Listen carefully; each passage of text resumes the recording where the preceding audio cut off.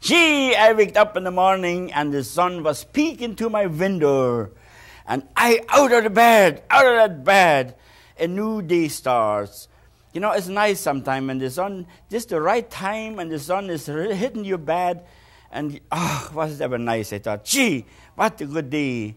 With love in your heart, there is a tomorrow. You know, that beautiful tomorrow. You know, you get so excited about the sunshine, the beautiful smell in the spring or in the autumn time. And uh, Mother Nature is such a, ah, ha, ha, ha, I'm so excited today tell you, I don't know what the devil I'm doing.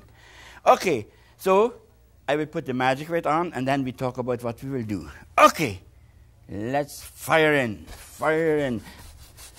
That happy sunshine in the morning has done it to me. That happy sunshine, yeah, really. Some people, I get mail, I get so much mail from people locked in sometime in hospitals and in and old age and you know. Then you wonder it's such a wonderful thing when mother nature can perk you up and give you that almighty beginning and we talk about always a better tomorrow. There's a better tomorrow. There's a better tomorrow. Even if it's gloomy today, but there is a better tomorrow. So I will put the magic white on so this you see I do it very often. I don't put it on. I just uh, put it on before the show. And then uh, there was a little bit argument sometimes. They say, why didn't you put the magic white on? I put it on all the time. Without magic white, I don't know how the devil it would work. Maybe I should explain it again. We paint and we never explain why we do what we are doing. The, in the beginning, when I start painting, I always thought you have to mix the colors on your palette. Yeah, that's what it is, what you learn in school or whatever.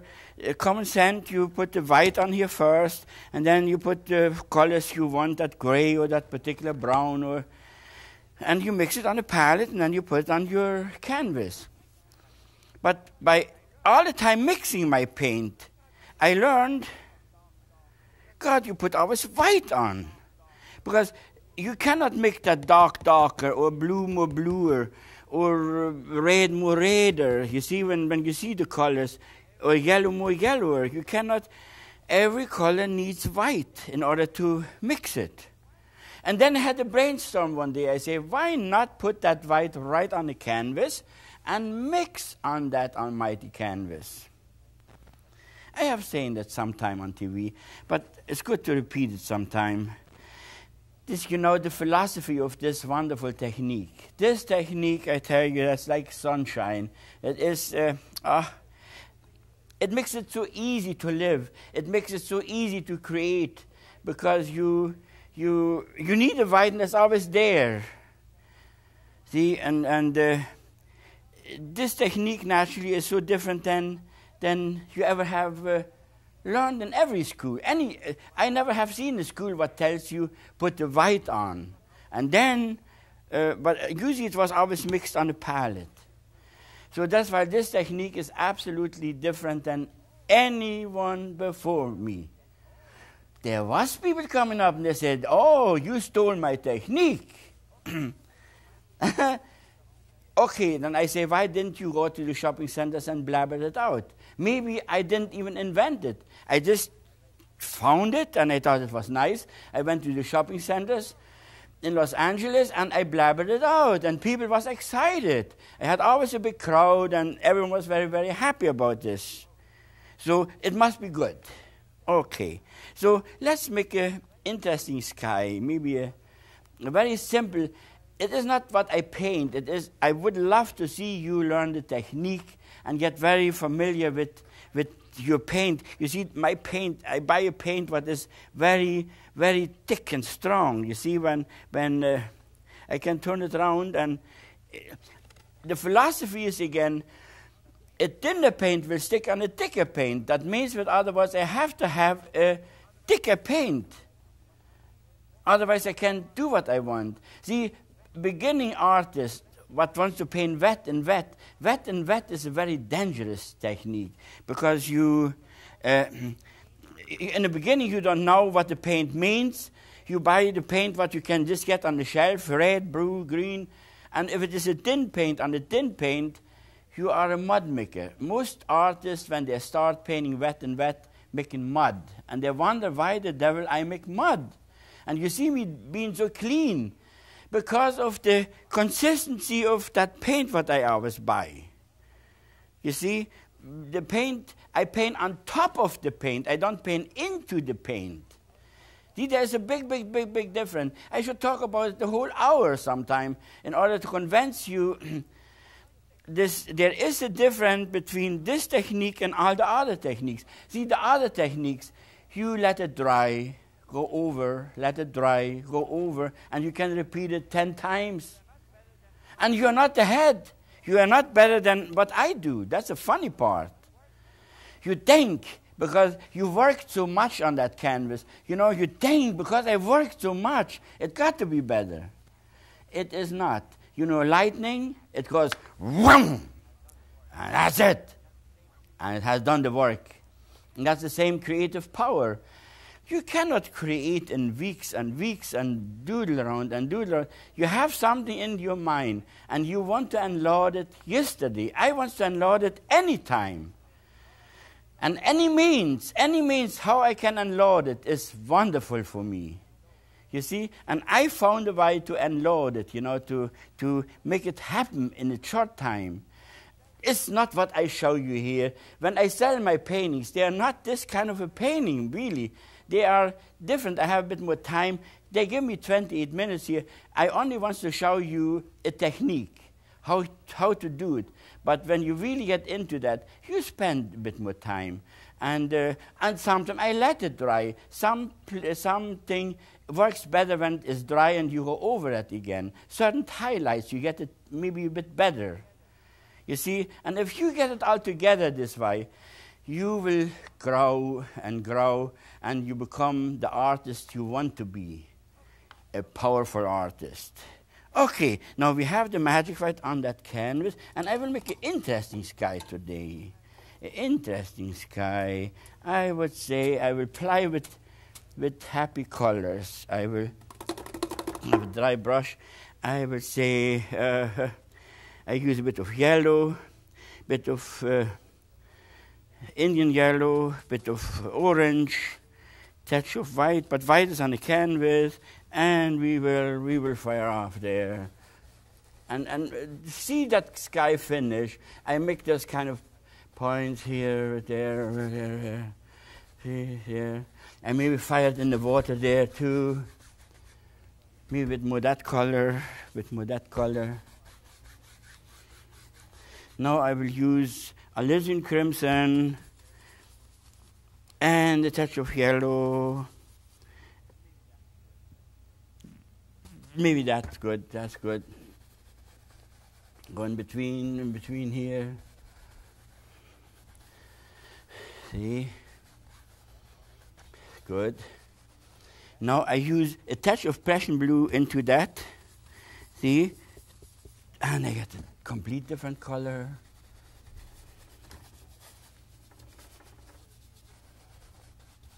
See how easy it is to apply with, with happy colors? And you get the sky you want to have. See, in order to make a deep sky, I always try to have it either dark in the back on the horizon line and light on top, or light and dark on top.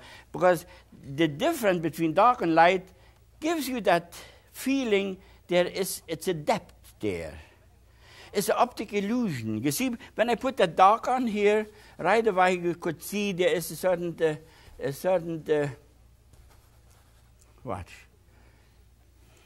Okay, more, more of that. Try to learn that. And I always have to say, as more you will paint, as more you, the knowledge will come to you how to, how to create this way. See, I, have, I don't put any effort in. That's the crazy thing. It's a wonderful thing to, to dream along and, and go along. Now I will create a kind of a, a punch. I will have a punch. I take yellow and white and a little bit of whatever's in there. And I will punch this up a bit more.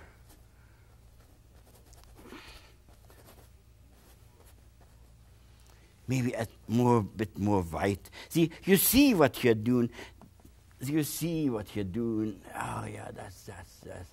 See, have that little bit of of light there in the water too. Can you see how you build the sky already with happy colors and have the light? Maybe I put punch the, the light in there, maybe a bit of there here on the side. Uh, it depends on what your eyes tell you. Maybe here I will have a little bit of orange more up there. And nice how you can just control your colors, your happy, good old way. Good. Maybe I will, I will, I will, I will. Blue, a little crimson is always a powerful, uh, darker color for clouds. I will have this a little bit more darker there.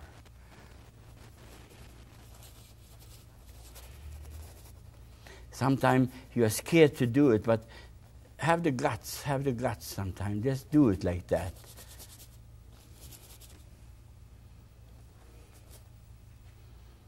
See, that's nice. Maybe here a little bit. Maybe here a little bit. And we are in it. Here, just clean it up a bit. Good, good, good, good. Now we will, I will use my knife and I will cut in, use white up here and black, a little crimson and Prussian blue. See, and I will fire in a kind of a part of a mountain sticking out there, here, far away.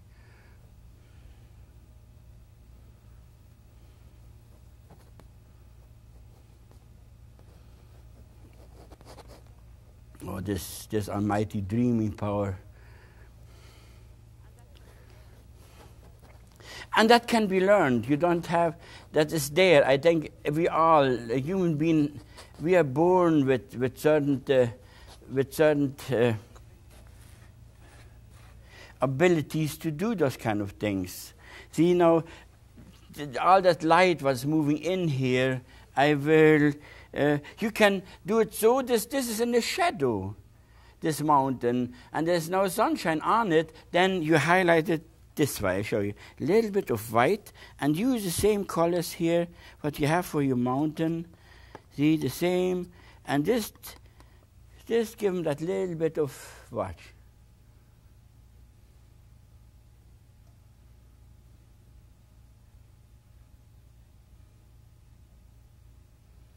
Isn't that wonderful?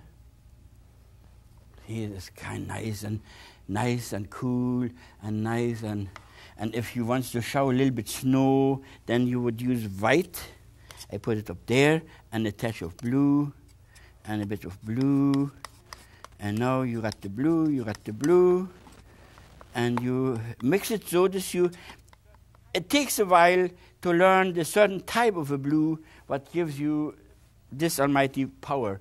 See, I will have here maybe a little feeling of, of snow there in the shadow. See, it is a bit on the dark side. So I use it for the shadow side now. So in order to have a snow in, in a bit on the lighter side, there's always a lighter and the darker side. So I will use a bit of white into see they're like this.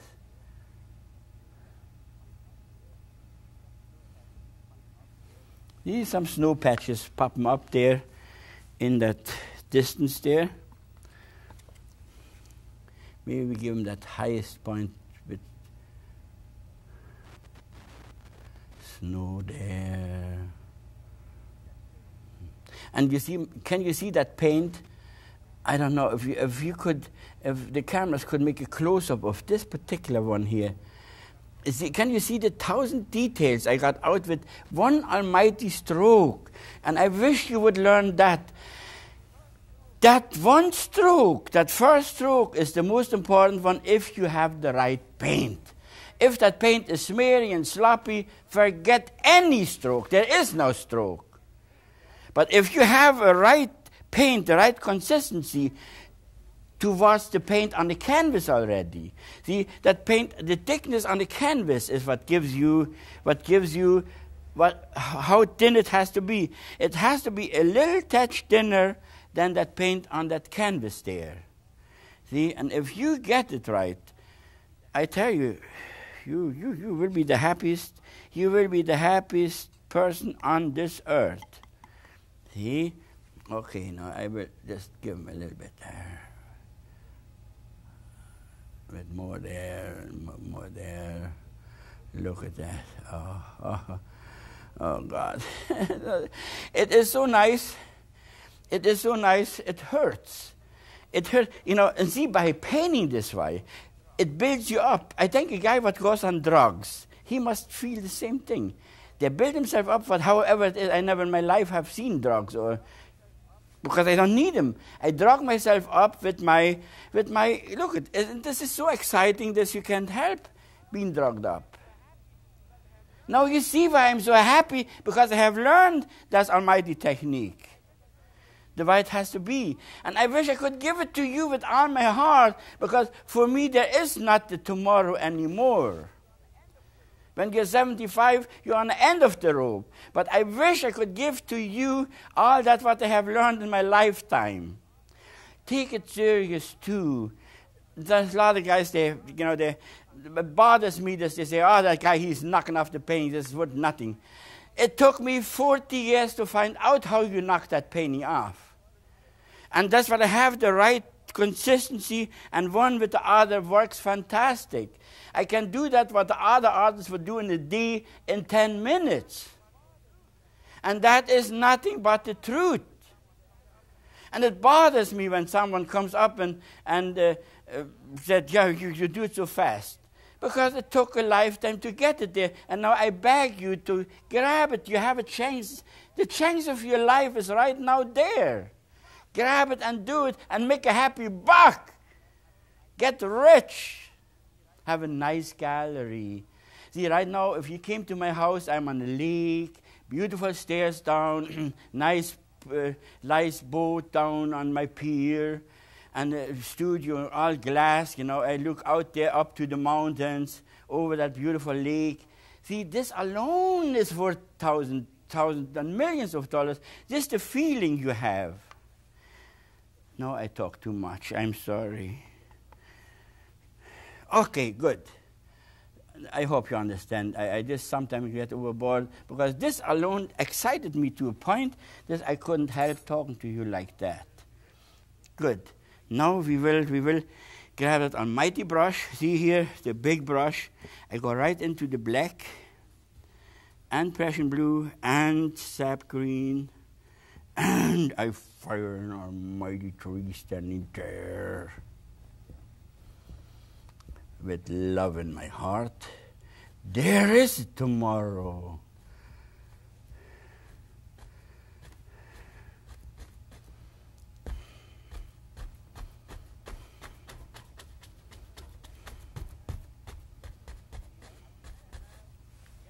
See that? can you see what that almighty brush can do? All those beautiful details. You never get it with a small brush. No, that's up to that's up whatever he wants to think. I would say I put two trees and two of our four trees we live with. Look at that.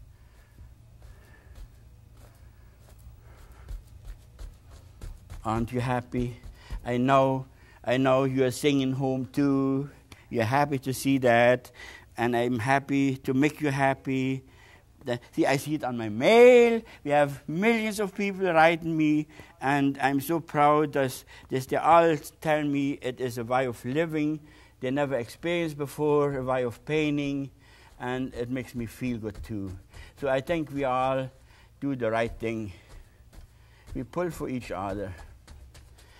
Together, we make a better world.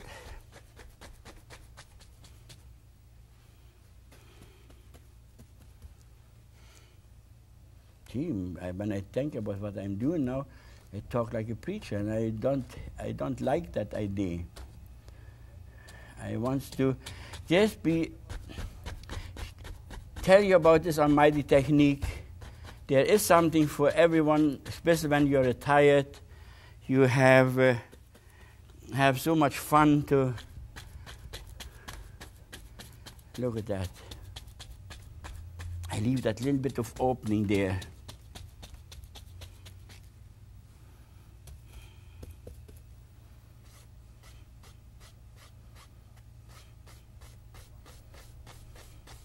Isn't that wonderful? Look at that. It's just a joy to be alive. Good, good, good. Now we will go into the yellow, yellow, and a touch of green, yellow, and a touch of. See, the paint is too thick, I go into the magic white and make a thinner paint. A thinner paint will stick on the thicker paint, and I'm in absolute good shape. See, look at that. Now we will fire and give them a little bit of highlights there. Look at, oh God. It is so nice, I tell you. Can you make a close up on that, please? If the cameras could show the details there, how nice I fired in there. See? Oh God. So the dear Lord is really good. It's really good. He helps you. He helps you. If you want it, help yourself, and the Lord will always help you. He will always help you. It's right there. Look at that. there you are. There you are. All right. And touch. Now I have before I go on with that, I have to to to make this like water there. See? Make it like water there.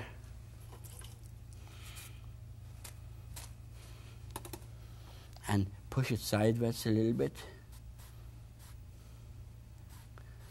See? And, and, and, and, and give them a little bit of a shoreline there. Make it kind of a greenish, happy Happy shoreline there. A happy shoreline there. See, look at that.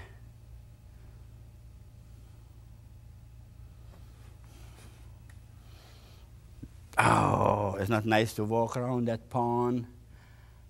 To walk around that pond, and there's a nice curve. Give them a nice curve there, and, and there you are. Look at that. And then maybe you give them a bit of a thinner paint. A thinner paint will stick on a thicker paint. I always have to thin it down with magic white. You see, now you put a couple water lines in there. See? Couple water lines in there. And then here you, you just have other little line there and and make it like kind of a shoreline there, bit of a green up there, bit of green up there. Look at that, look at that. See, then, uh, meantime, you make water out of this. See, there. And then you, you, you, you, you fire in with all your heart. A thinner, thinner paint sticks on a thicker paint. I use a, a magic white and yellow, and now we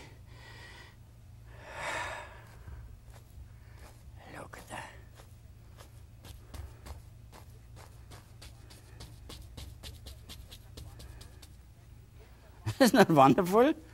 Isn't that wonderful? Can you whistle with me? whistle a happy tune, and we go on and on and create a wonderful uh, whatever. But I hope you learned something. The thinner paint sticks on the thicker paint. Can you make a close up on this? Can you see? Can you see the beautiful? Oh, oh, it is so nice. I tell you, it is too nice to be true. Look at that. Too nice to be true. In the dark, see, you need the you need a dark in order to show light. See, then you really cut in some little tree trunks there. Little tree trunks. Here one. Here one. If it doesn't work good enough, you just do it sideways, a side stroke, see, and it will work. Can you see? Isn't that fantastic? Isn't that the power of being on earth? God give you all that power. Take it, take it, and make the best out of that. See, and that is what it is. See, then there's a little side stroke, and it gives you a nice tree trunk, a nice happy tree trunk and that penny is already talking to you, it is singing, and everything is just high tune.